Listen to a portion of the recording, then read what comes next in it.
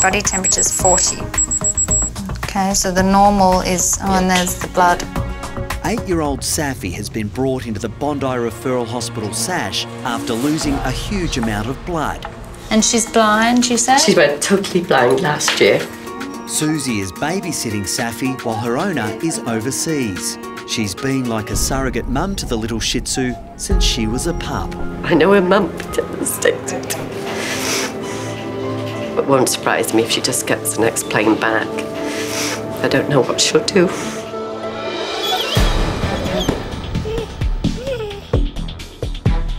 That's some serious bleeding from her rectum. All right, we just need to do a blood count and make sure uh, how anemic she is. Check if she needs a transfusion. All right, baby. Good girl. There are a few conditions which could be causing Saffy to bleed from her bowel.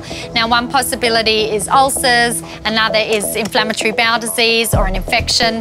Those are all treatable. Another cause is cancer, and that would be the worst possible diagnosis. Wow, that is seriously anemic.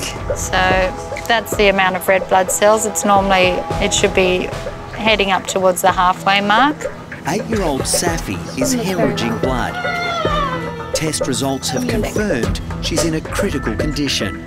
So she's got a blood count of 14%. Normal for a dog is above 37%. She needs a transfusion right now. Only a few months ago, a rare disease robbed the Shih Tzu of her eyesight. Now she faces an even tougher battle. This blood transfusion is going to make her feel better, but it is just a short-term fix. We need to work out what's causing this hemorrhage if we have any chance of saving her life. As the transfusion starts, Susie has to face up to calling Saffy's owner in Europe. I mean, I know it's not my fault, but it's not the news you want to tell somebody. You know, it's her baby and and she just loves it to bits.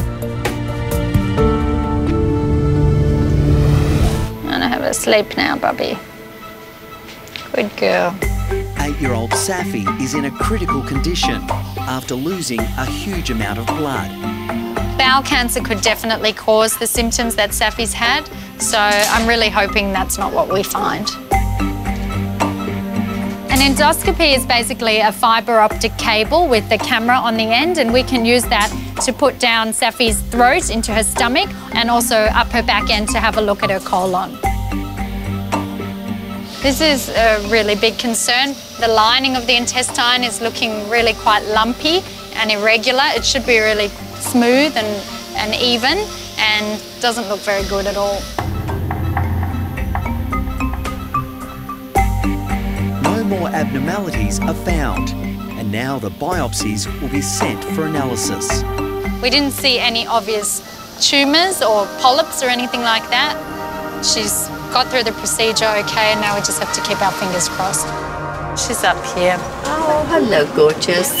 Saffy's distraught babysitter Susie is now finding it hard to cope. Nothing seemed to be straightforward. It just seems to be endless tests and maybe not even good results at the end. That's what I'm really worried about. I know it's not my dog, and in some ways it makes it worse.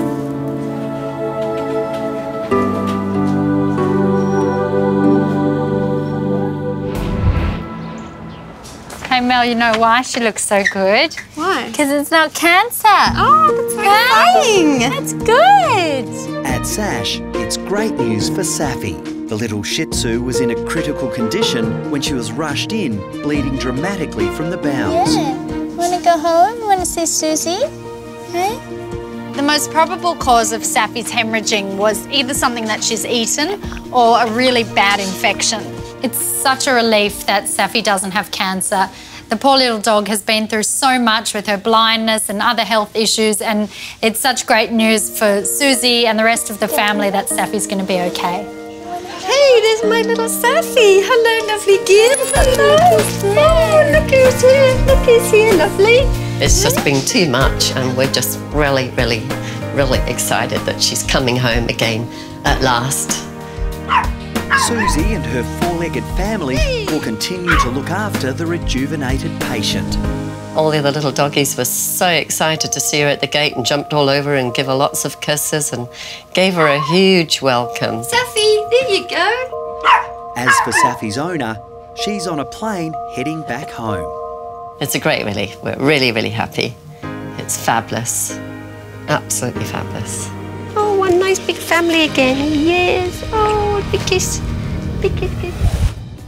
If you guys loved that video, great. Make sure you subscribe to our YouTube channel below. That way.